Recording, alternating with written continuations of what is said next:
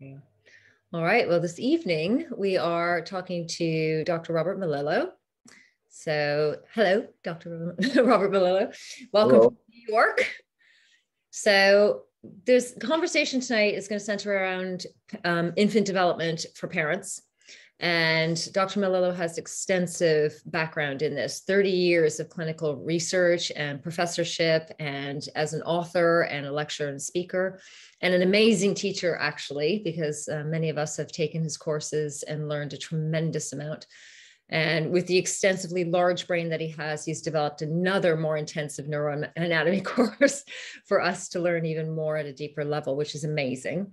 So, specialty is childhood neurological disorders and ranging from autism spectrum to ADD, bipolar, um, dyslexia, which is an interesting one that we should do a whole separate interview on, I think. Um, even though it does come down to the same thing, it's a big issue here. Um, but so tonight, I just wanted to focus on babies and growing babies, infant milestones and their primitive reflexes and what happens if they don't integrate properly, and then go into retained reflexes. So, welcome, and I'm just going to let you roll. You sounds great. And first of all, to the audience, I'm not just trying to be cool. I had some eye surgery and I have to wear these glasses for a few days. So, and I did not want to miss this. So I, I apologize. Um, but um, yeah, so, you know, this area of uh, brain development and child development has really been something of a focus of mine, not only because my background is in neurology and, and rehabilitation and what I focused most of my career on, but also as a parent of kids that have had their own developmental issues. Um, so I really relate to the parent out there who's looking for answers and who's not getting them typically, because I remember when this first happened that I already knew a lot about neurology and I was teaching it on a diplomate level, but I didn't know a lot about child neurology or development. And I didn't know a lot about ADHD or autism or OCD or those things until one of my children got a diagnosis. And my first question was, what is it? What is actually happening in the brain of someone with ADHD or one of these other labels? So I went around to colleagues that I work with because I was trying to go the easy route, right? And just have somebody tell me what was wrong so I could try to see if I could come up with a way of trying to help it. Um, and so I went around to pediatricians, pediatric neurologists, neuropsychologists, pediatric psychologists. And I just asked the question what is actually happening in the brain in ADHD? And they all looked at me like I was crazy. And they said, I don't know. I have no idea. And I was like, what do you mean? Somebody's, somebody must know. And they were like, well, I don't know. Uh, I don't know what it is. But, um, and I was, you know, we had just seen this was 1995. And a statistic had just come out between 90 and 95 that there was a 250% increase in the um, prescription of, of Ritalin and the medication primarily used for ADHD. And, you know, but yet nobody knew why, right? Why it was increasing or what it was. So for me, as a parent and a clinician, you know, I had to start there, which what is it? So I, you know, kind of dove into the research on my own and um, and eventually connected with researchers and other people around the world that did have a clue as to what was happening. And um, you know spent the better part of 10 years really researching it and ultimately creating a textbook. And most importantly coming up with a program that could try to help these issues. But you know part of understanding what the problem was is also how it happened and it ended up that you know it was a problem that happened during development and it wasn't due to damage or injury. It wasn't a genetic mutation um, that there were developmental environmental factors that created this type of imbalance in the brain that is what we then label as adhd or some other disorder. Um, and you know along with that you know became aware of something known as primitive reflexes, which are these reflexes that babies are born with in the first year and they should go away. And there was more and more literature starting to emerge that some kids that had developmental delays didn't get rid of these reflexes, which would mean that something was affecting their development. And then I've spent the better part of 30 years trying to understand that. And even now, I'm doing a PhD in cognitive neuroscience. And the whole focus of my research is the importance of primitive reflexes in autism and what it actually does to brain connectivity. And then what happens when you're able to inhibit or suppress those reflexes, and how does that change autism and functional connectivity? That's amazing. That is amazing. And it's interesting because with all of those different labels, you've just put them all under one umbrella called brain imbalance. Yeah, that's and that's a really important thing, Marilyn, that I came across early on. You know, um, you know, when I first started looking at this, having a background obviously in in physical chiropractic rehab neurology, you you were trained to look at imbalances, right? We're trained to look at imbalances in the body, imbalances in the nervous system, and um, so when I first started looking into ADHD and into other disorders the first thing I came across was that researchers were talking about this unevenness of skills, where kids with ADHD were exceptional, not just good, but exceptional at certain things, but were also really, really, um, you know, behind in other things. And so, right from the beginning, it sounded to me like some sort of imbalance. And I said, I wonder what the things they're good at and I looked at that and I wonder what they're bad at. And I looked at that and all the things that they were good at, all of them were left hemisphere. And all the things that they weren't good at were right hemisphere. And so I looked at it and I was like, wait a second, that that is that a coincidence? Or is that actually what's happening? And so the more I looked at it, the more it fell into place that way. And then I went to a lecture at the National Institute of Mental Health in Washington. And the woman who was the head of the uh, National Institute of Mental Health stood up, and it was a lecture about ADHD and other disorders. And she said, We don't really know exactly what is happening in ADHD and in the brain, but what's ever happening in ADHD is happening in all these other disorders because they're always comorbid with one another and they have very, very similar features so we believe there's a similar underlying problem, even though they manifest differently. So now I said, so if I'm seeing this imbalance in ADHD, you're saying that these other disorders are the same issue. So then I started looking at them. And again, all of them had this unevenness of skills, um, and especially autism. And dyslexia also had it, but it was the exact opposite right? The exact opposite features. So then I started, you know, that's when I started looking at and saying, okay, there's actually this single underlying problem known as a functional disconnection syndrome. And it manifests differently depending on what networks and what areas are overactive and underactive and disconnected. So it can manifest, but the underlying problem is the same. And so the solution is similar, right? So that's where it kind of all came together for me and then really focused on that. And I find that with parents and even with clinicians, you know, there's so many different symptoms and it's so different in each child that it becomes so overwhelming and it doesn't seem to make any sense unless you look at it in the light of how the hemispheres work and function and if you understand that they have many it's it's really not many different problems it's one problem manifesting in many ways. And so it becomes less overwhelming because otherwise the parent really just thinks, wow, my child has so many things wrong with them. How am I ever going to help them? Right. Because they have dietary issues and motor issues and sensory issues and cognitive issues and behavioral issues and immune issues and, you know, and all of these things. It's overwhelming unless you say, nope, that's all related to one problem. It's much more manageable. Yeah, it makes more sense too, because it's very easy for a parent with a child who's struggling to go into overwhelm instantly because they've been fighting those battles for a long time before they start to actually get any sort of help if they get it. Right. That's the big thing. So if we back up a little bit and just talk about milestones and the importance of meeting those milestones, you know, in terms of infant growth and development, mm-hmm. leads on to the primitive, the retained reflexes. Right. So, you know, when when I went back and, and said, okay, where does this start, this imbalance? And how could that happen, right? How could it happen? Why, if the brain is growing, why would one side grow less than the other? What would be that mechanism?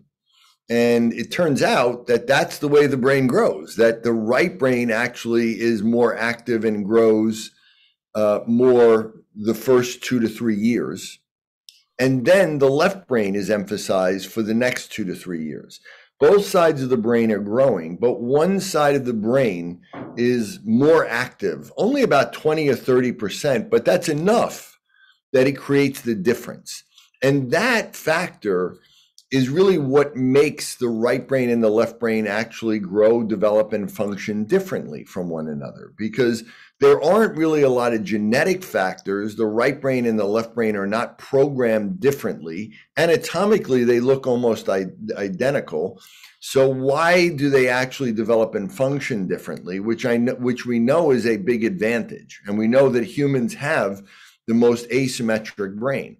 So the idea that as the brain is growing, it, if something interferes with growth and development during the first three years, it may have more of an impact or slow down the development of the right brain, which may make the left brain kick in too early and come online too soon, which then sets up this imbalance, right? Because then now then the left brain when it does kick in, it's it's already stronger than it should be and now it gets even stronger. And this is this developmental imbalance between the hemispheres that affects the communication and the integration and the synchronization, which is critical to the human brain because our brain is so big and so different that it needs to be really synchronized and coordinated. So the growth and development we go through these stages of development and movement and motor development is the single most critical piece to development of the brain especially early on. Because movement is what engages our senses and our senses then give feedback to our brain and that not only stimulates the brain and the genes that cause growth but it also helps to calibrate our brain to the world around us um, and you know, when we're first born, we don't have much of a brain and we don't have much of a motor cortex, so we are dependent on certain reflexes that are from our brain stem that allow us to move and interact and engage those senses and calibrate it to the world um, until our motor cortex then grows and kicks in and can take over. Um, so what we see is that if again, anything interferes with that normal growth and development. And as those reflexes emerge, we go through different motor milestones. And these motor milestones are there for a reason. And we need to go through them. And you know, we've known about them for many, many, many, many years, and we know that they're there, and we know that you know children should roll over around three to five months, and then they should roll on their belly, and then they should crawl on their belly, and then they should be able to sit up at around six months, and then crawl on all fours, and then get up and start cruising along the furniture, and then almost exactly at one year they should take their first step independently, and that's the blueprint of how the brain is built and it's a blueprint that's been there since the beginning of time and you know what we see is that there's more deviation than ever in that blueprint. We see more kids than ever that don't crawl on time or don't crawl in the right way or walk too early or walk too late. And then if you walk late, you're going to talk late. And if you talk late, you're going to have, you know, maybe uh, social problems or language based problems. And it once as you miss these milestones, they become more and more and more missed down the road. And you know it may not fully impact you until you're a full grown adult. You know schizophrenia which we know starts this same way doesn't really manifest until someone's in their 20s but there are clues all along the way that something is not right but it doesn't fully manifest until until 20s but the problem really goes back to uh, early childhood. So you know it may manifest at different stages but um, you know the whatever happens in the first six years of the child brain is the ultimate fate of the adult brain. And you know in the united states we have 20% of kids have some sort of diagnosis whether it's a learning disability or behavioral or mental emotional and there's 20% of adults that have that same diagnosis. So is that a coincidence or is it just the same population that never was actually treated properly and they go on to have those problems later on in life because they they've been there their whole life? Yeah and i think you're right there and it's interesting because in our practice one of the things we see kids of all ages but we try to catch them in those very early stages and especially from either preconception through the pregnancy where we're looking after mom and then the baby comes straight in afterwards and we can monitor then because once post birth stuff everybody's breastfeeding and happy then we'll back off and watch them grow. And then we'll just kind of do those growth and development checks, especially over those first two years where the brain is growing at a rapid, rapid pace, because right. we want to miss those things. And I think for families that aren't involved with that kind of care, these things already have been missed along the way. and all those little milestones and those things that they're just told, oh, they'll grow out of it. Oh, they'll do this, they'll do that. You know, like crawling on one knee, that kind of stuff, you know, or not walking until they're after two or right. 18 months to, and it, which is really late, you know, so trying to catch all those things because they get referred to different channels here because the healthcare system in the UK is different than the US. But there might be a waiting list of 18 weeks. So in that period, five months in a child's life is a long time. So, you know, trying to find ways for people to get those things picked up earlier on is a big issue. So the GP will do a check between six and eight weeks here, and they might not see that child again unless there's a problem. You know, either they have ear infections or throat infections, or you know, maybe later they aren't speaking or crawling. You know, so all those kind of things fall by the wayside quite quickly here.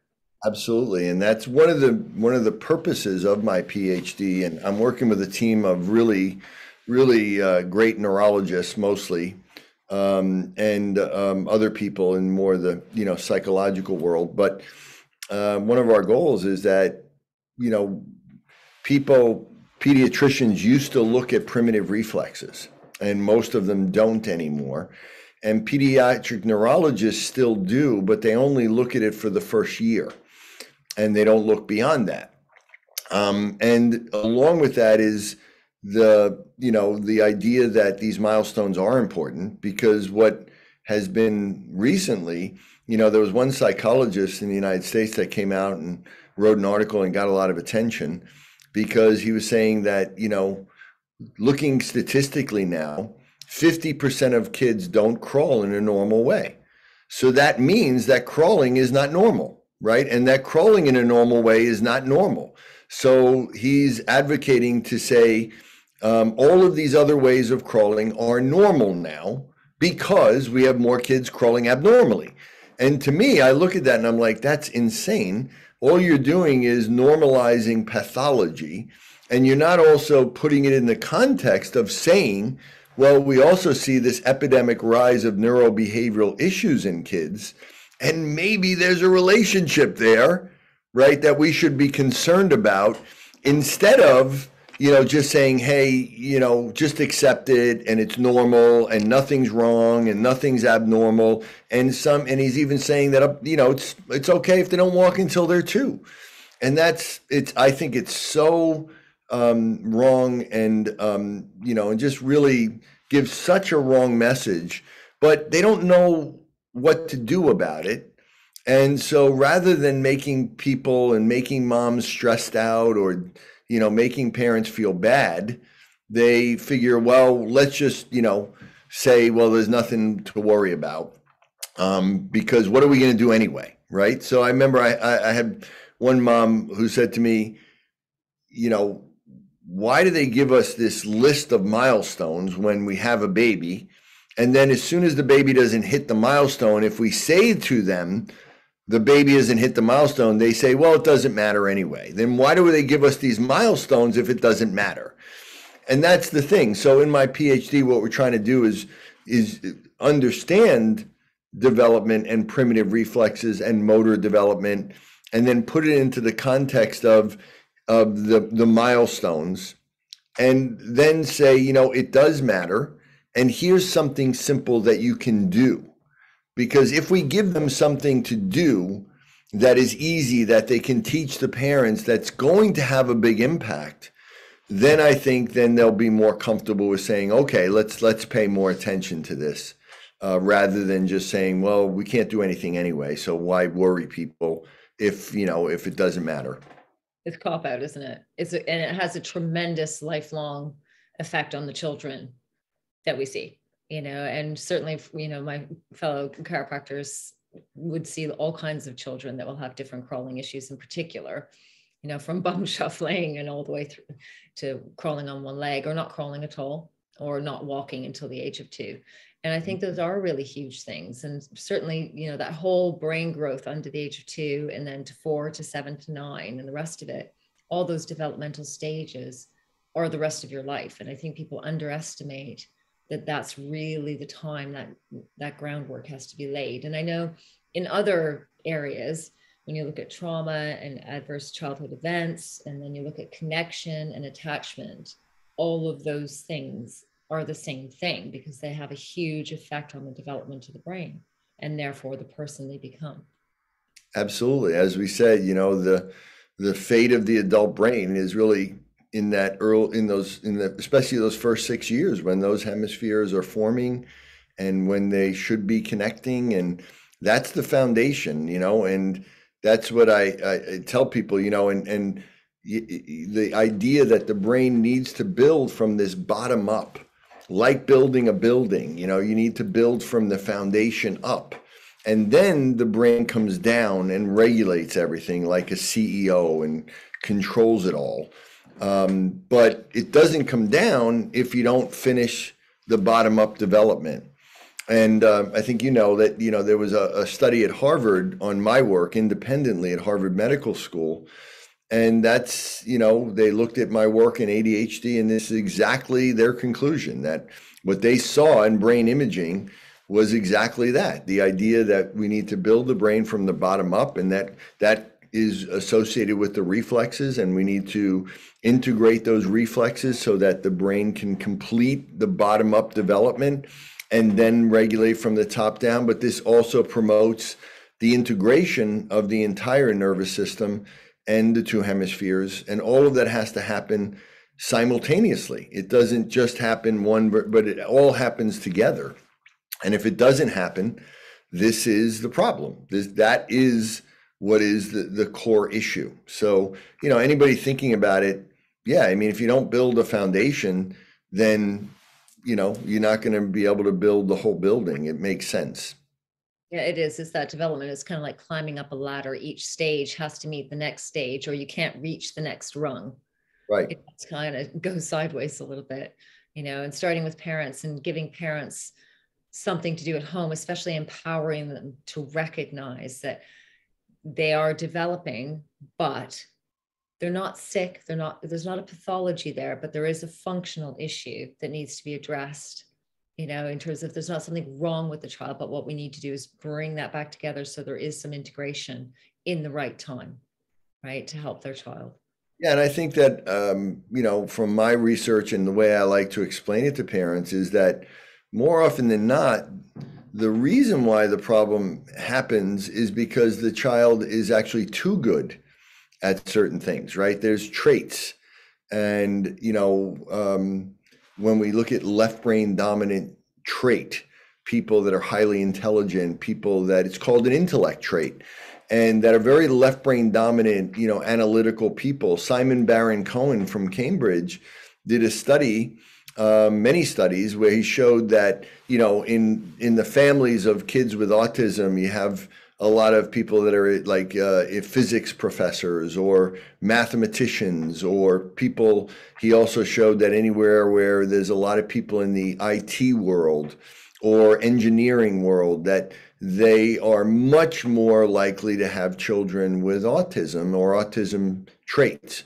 Um, and so it's built on a natural trait, which is this left brain dominance, which is a good thing. I mean, obviously, people do well, but if you have too much of that good thing, and it and the right brain is delayed in its development then you develop this imbalance and this is where you see these kids can have these genius level left brain skills um, but yet be so disconnected that you know they can't function in the social world and they can't function interpersonally and may may not be able to speak not because their left brain is a problem but because they're so disconnected from their body and their feelings and their emotions and other people that they don't speak because of that. So you know it's it's part of a normal trait that runs in families. So it's really not a deficiency. There's no damage, there's no injury, there's nothing necessarily wrong with the genes. Um, they may not be expressed fully the way they should, but they're not damaged. Um, and most people are told these are genetic disorders and there's nothing you can do about it. And that's not true. Um, they're what we call epigenetic, which means they're primarily environmental. Um, and so, you know, these are just built on top of a trait that is too good. So it's a different context when you understand that there's not something wrong with your child. It's that certain areas of the brain are a little too strong, and we just have to create a balance. And when we do that, you know, you can have this actually very, very high functioning, amazing person. That's with an easier outcome, isn't it? It's trying to make things easier for your child you know, because anything, especially with struggling with social interactions, it, it affects the whole family but most especially that child who has social anxieties, who gets re- doesn't really interact well, and being able to change that right. is life changing for all of them. Yeah, making it easier doesn't mean we play to their strengths, because that's a problem. Yep what most people most people's approach is well we can't change their weaknesses so let's just play to their strengths. And if you look at it in the context of a developmental imbalance all you're going to do is make that imbalance worse. So you have to focus you know on stimulating or activating or you know trying to build up their weaknesses and that creates this balance. Um, if you focus on their strengths, you know, they're never going to change and they're actually just going to get worse over time. And that's a difficult conversation, isn't it? You know, because trying to get them to understand it is about brain balance and the issue that, you know, they come to see you because they know something isn't right, but at the same time, they don't want to be made to feel wrong or like they've been a bad parent because they haven't been a bad parent. No. Right. So there's been a whole chain of events that has led to a child being in this position. Right. Right. And we want to look at that to see where they've come from, but that's not where the focus is. The focus is on, well, how do we bring balance into things? You right. know, trying to re empower a parent to know they know their child better than anybody else and to give them the tools to help things and help their child move forward. And that's it. You know, it's, you know, the tools we give to parents are pretty simple tools that anybody can do um, but they need to be done consistently. They need to be done properly. They need to be done at a high frequency. Um, but when they're done right in the right combination, um, it is just the the results are are uh, absolutely remarkable. There's nothing else like it, and you know it's something that the parents are the ones that should be doing it, and because their child is they're going to be their child's they're the best person to be their child's therapist um, as long as we and we don't overwhelm them when we give them simple tools to do it can be incredibly effective and obviously cost effective as well. Yeah which is really helpful you know because again many kids who are struggling with different things the costs do add up right? Yeah. because they end up seeing so many different other people. So the more that they can do for themselves and their child at home the better so. Yeah, and, and you know when you're in a, uh, especially if you're in a kind of a socialist model of healthcare where there's a lot of you know trying to really be aware of costs and rationing, um, the frequency that's needed to make the changes. I mean, these things have to be done two to three times a day for months um, or even years to really, you know, create these changes and so, you know, if you're trying to do it in the context of a healthcare system, it's not going to work because it's going to be too expensive and and it's not going to work. So, you know, recruiting the parents um, to really deliver this, along with the supervision of a healthcare provider that is knowledgeable, is really the the best case scenario. So I just wanted to ask one more question about dyslexia. Because mm-hmm. that's something that we see a lot of. And obviously, the brain balance, you kind of touched on the left and the right brain. Is it right. particularly a right brain issue? Well, what we see is that the when we talk about issues, first of all, I'm, i always get my wife always yells at me because I'm, I'm she's like, "You mean a right brain weakness or a right brain dominance?" Right? So it can be confusing, but when we're looking at um, a right brain delay in development with an overactive left, right? So left brain dominance with a right brain deficit or delay or immaturity that is what we see with ADHD, autism, OCD, tics, Tourette's, oppositional defiant disorder, um, schizophrenia, uh, anxiety, um, you know, those types of issues. When we look at the opposite, where we have a left brain delay and a right brain over strength dominance, uh, we see that as dyslexia, learning disabilities, you know, more language learning issues like math problems, spelling, reading. Um, we also see that as depression. We also see that as bipolar disorder um, and PTSD like symptoms, um, where we see this overemphasis of the emotional aspects of the brain, um, overwhelming feelings of guilt and shame, and you know, being uh, hyper aware of what other people think and you know, a lot of really emotional issues. So that's kind of how that works. And again, of course, there are different areas and different networks, and how they actually combine together is unique, right? But overall, because again, it comes down to how these two hemispheres develop and how they connect or don't connect.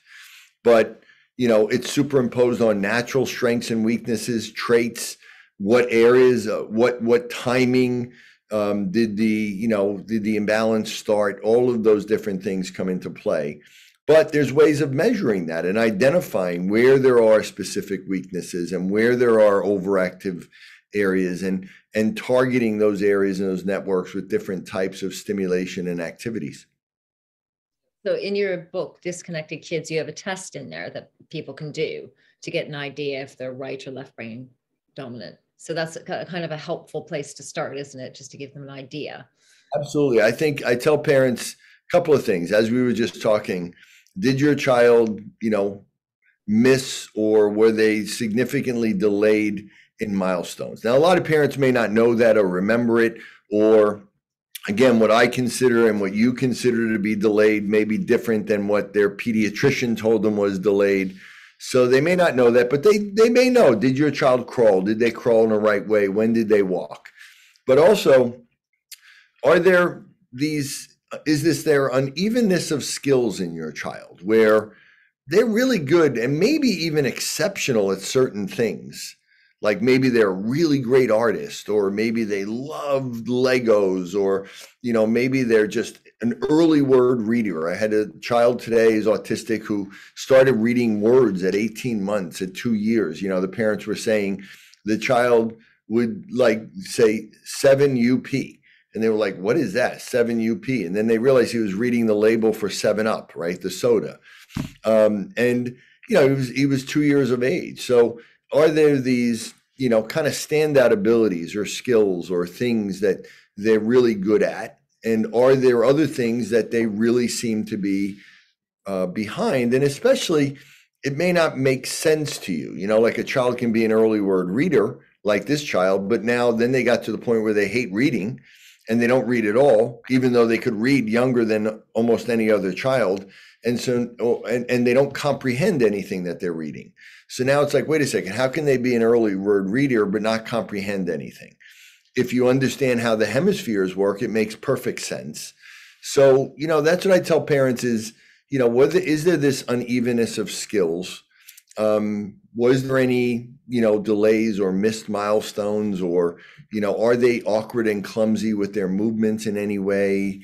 Um, you know, all those things are little clues that give you an idea that there is this imbalance that developed in your child and then you know then from there it's just a matter of figuring out where it is and that checklist that i have in my book really is a good way of looking at it and saying okay you know is it more of a right brain or left brain delay and you know, it gives you a good window. It's not always 100% accurate, but it's it's pretty darn accurate. I mean, again, we've worked in my centers with you know, with over 70,000 kids where parents have filled those checklists up before, during, and after, and then, you know, have, you know, several hundred thousand books that have been sold. And, and the, for the most part, it's, it's pretty darn accurate. So.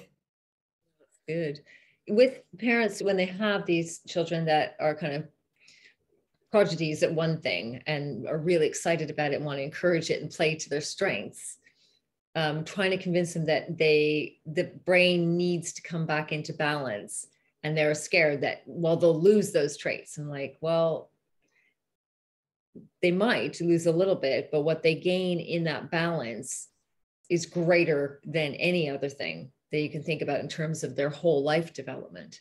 Right. It's quite a big thing because it, it feels scary to some to create change in their child Sure. They love their child just as their child is, regardless of what's going on. So it's just trying to kind of get through that barrier, if you mean, because there's a little bit of defensiveness there. Do you know what I mean? You know, we live in a world of very mixed messages now as well. Um, and, you know, on one hand, you know, we want people to be healthy, but on the other hand, we want to be accepting of everybody, right? And that's good. I mean, we should be accepting of everybody, but there's a difference between, you know, uh, parents will sometimes they'll say, you know, uh, my family is telling me just to leave the child alone because, you know, this is who they are. And just, you know, accept them for who they are and that's it. And I look at it and I say, you know, I look at it differently I look at it like they're not who they're supposed to be. And the reason we know that is because their development is off and they have things that should not be there. Like they still have these reflexes that should be gone and they're missing these milestones and they're deficient in these areas. And I think you're not seeing who this is not who the child was supposed to be. This is, you know, a, a, a different version. And so I think what we want to do is actually do everything we can to try to get that child to be who they were destined to be and let that that person come out.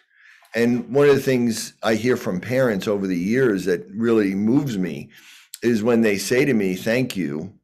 You gave us the child that we always knew was there but was trapped and couldn't get out and that's how i look at it right? Like and so and the idea that you know they may have these great skills these genius level skills and the parents can see that and appreciate it but there's also these other issues and they don't want them to lose those skills and that makes sense. But i can tell you because we've done so much in the way of objective testing like iq testing and academic achievement tests where we graphically document this unevenness of skills that represents an unevenness in the brain and we get kids that, you know, might be three, four, five, six grade levels above in certain things. And then they might be three or four or five or six grade levels below. We have some kids that are 10, 11, 12 years apart from their strengths and weaknesses at the age of 10, right?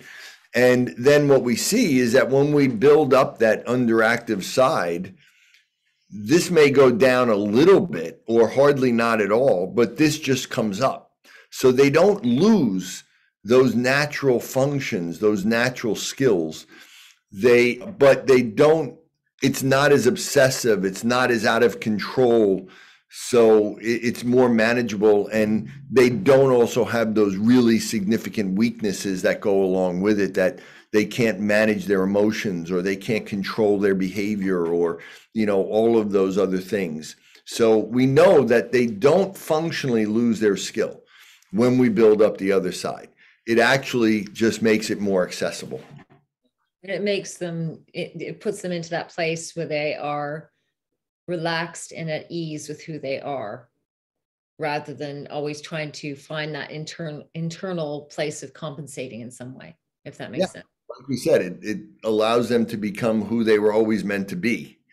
Um, and that's a different mentality. If you think about it, I can, I can understand both, right? I can understand we have compassion and we want, you know, I work with kids and adults with disabilities and, and I, you know, I, I want nothing more than to them be accepted and treated in a respectful way and have them, you know, be loved and all of those things. But there's also when I see that there's potential to really improve them and to improve their quality of life and to, you know, maybe really bring out their full potential, you know, that's something I can't ignore and I'm not just going to accept that when I know we can change it. And I know the parents feel that way too, because otherwise they wouldn't be seeing me, right? It's interesting actually, because I mean, we have the TV version of autism, um, which is quite pretty. Um, but then we have some very, very serious cases of autism of parents who very rarely even leave the home.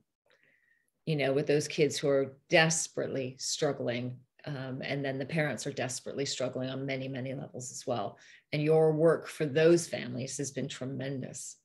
You know? And that's been my focus, really, especially over the past five years, is really working with the most severe cases that I can get my hands on to really perfect the model of what what can be done and what can be expected. And and I'm and it's you know I'm constantly amazed at the results that we're getting.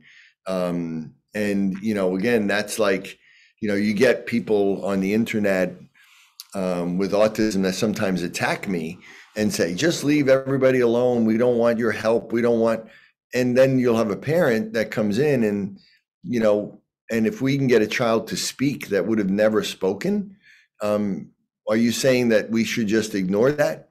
We should just allow that person to go through their life not being able to speak just simply because you know you felt like you know you wanted just to be accepted and you're speaking for yourself.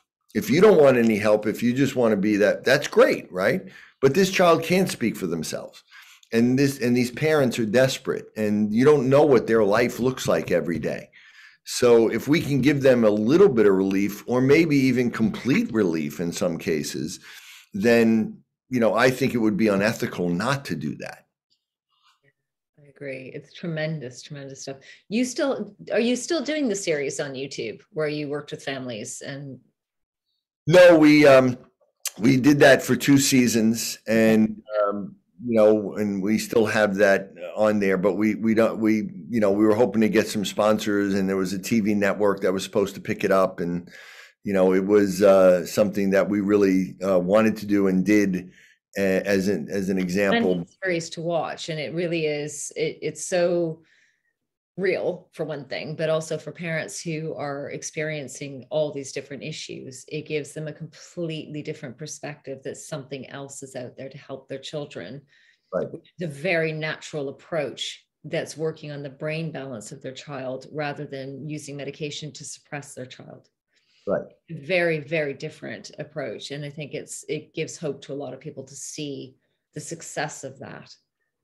So and also again you know with the materials that you've published it puts an, an awful lot of very good scientific information in parents hands that you know lay people can read it with no science background at all and understand the basics of those brain balances and how it applies to their child. And i think that is a tremendous work for a life's work and you're not even a quarter of the way through it you know because you're you keep going and developing you know with the phd with the neuroanatomy courses with everything yeah. to teach all of us to help other people which i think is a remarkable gift really well you know with um you know with this again i as i said i started as a parent in this you know not just as a clinician so i have and it's the parents and you know they're their sacrifices and their struggles that motivate me. Of course, the children do too, but it's the impact that it can have when you change that, what it does to the family and the family dynamic and the parents. And it's just, you know, so uh, important. I couldn't imagine spending my life doing anything else. And when you're doing that, you know, I don't think you're ever satisfied. You're always like, okay, I want to do better. I want to do more. And again, you know, you know, because when, a lot of what I did, even though it is founded in really great science, um, of course, it, it's it's very different from mainstream medicine and mainstream psychology and mainstream education um, because that isn't really based on actual neuroscience, right? And so, you know, going up against that, of course, is always difficult. And, you know, I just had a family from the UK that I just spoke with the mom two days ago, and she said to me, you know, your work is unbelievable and it's changed my daughter's life, but how come more people don't know about this? Like, you know, uh, how come, you know, everybody doesn't know about this? And so that's part of my mission is to be able to get it out there and to share it with other people and share it with parents and clinicians and and make a difference. And you know, it's been translated into 15 language now for a reason, um, because it does resonate with people. And I think, fortunately, we we were able to explain it very complex stuff in a way that the average parent can understand and utilize and make a big difference. And those are the three things. You know, you understand it, you can actually use it, and what you use is going to make a big impact. And that's basically what this work is about. It's remarkable. And I think it comes down to that basic tenet as well that you don't realize just how powerful you are. You know, whether it's your immune system, whether it's just your brain function and your ability to grow and develop and the potential that you have as a human being, which is untapped. You know, so that I think your work really does address so many things and the approaches are so direct and they're so simple once you know what you're dealing with you know you know not i don't want to use the word diagnosis but i think when you're looking at the whole range of testing that goes through there to develop a plan for that child right. you know is just remarkable what happens the, good the, the good thing about it also marion is that you know there's no downside per se, meaning that if you don't get results from it, it's not going to do anything damaging. And if the parent does most of the work, then there isn't really that much of a financial risk, right? Um, so, you know, it's something that, you know, there's really only a potential upside and not really much of a downside where there's a lot of treatments out there that you know there's a lot of risk to them you know there's a lot of side effects there's a lot of negative outcomes and expense um, that can be associated with it um, not that you know i mean it, it's it's okay to spend money if if if it's if you're getting if you're getting a result is it's important but you know is is something that um, you know people can really uh, utilize biggest thing is the discipline and the in the commitment, isn't it? Because without that, no change will happen. Absolutely, and that's a huge difference. And I'm developing a whole team of uh, of moms, as you said. The strength of some of these parents and moms just constantly humbles me. Um, and uh, I have a couple moms out there now that are just like such good examples, and they've worked so hard and you know, and they are, they're basically, their job is to go and to support other moms, but to also tell them, you have to do this at this frequency. You have to be consistent. You, it's all about the effort. And we know it's not easy, but there is a payoff, but the payoff's not there if you're not really consistent enough. So it is important. Yeah. And the nice thing is too that as you are working through different things with different children, you start to see the light at the end of the tunnel because there are because parents know their children so well they see the subtle changes in them mm-hmm. before other people see it you know right. which is really interesting so you know those small wins are everything yeah and you know we are constantly talking to parents about the small wins aren't really so small you know you get a child um, that all of a sudden starts to you know smell things and eat food differently. Or a child i just got off the phone with a parent um, and they said you know that they always had to remind their child to go to the potty and pee. You know he's young he's only four but um, you know and now he all of a sudden started doing it on his own because he now feels his own body. He's actually feels when he has to go.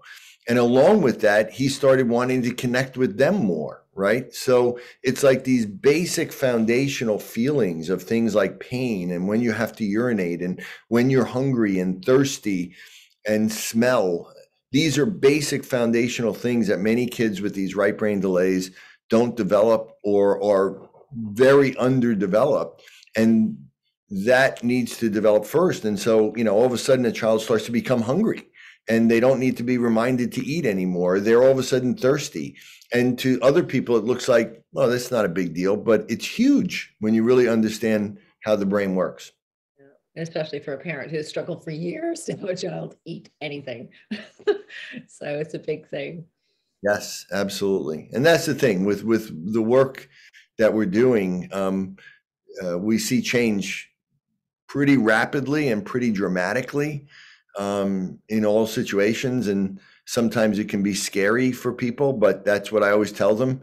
Change is good. You came here because you wanted change. And um, and even if the change doesn't always look good, it is generally. And um, you know, and we just need to change change the nervous system, change the brain, change the body, and that's what we're going to do. Phenomenal. Well, thank you very much for your time. I'm so grateful for you taking time for me today, particularly after your surgery. Yeah, well, it's my pleasure. I, am I'm, excited to speak to you because I know you also do so much great work and help so many people and are so um, knowledgeable in what you do. And um, I wanted to share this with you and share it with your audience. And and I appreciate you going out there and spreading the word to people so we can just get more people engaged. That's all. Well, I can't wait till we can get you back over here to do more teaching, which will be fantastic. we'll look forward to that. Me too. right. So my eyeball's back on now. so, right. So, well, hopefully I will see you very soon when things clear up in the world. It'd be great to have you over here teaching. In the meantime, thank you so much for your time, Rob. I really, really appreciate it. My pleasure, Mary Ellen. Okay. thank you. Bye.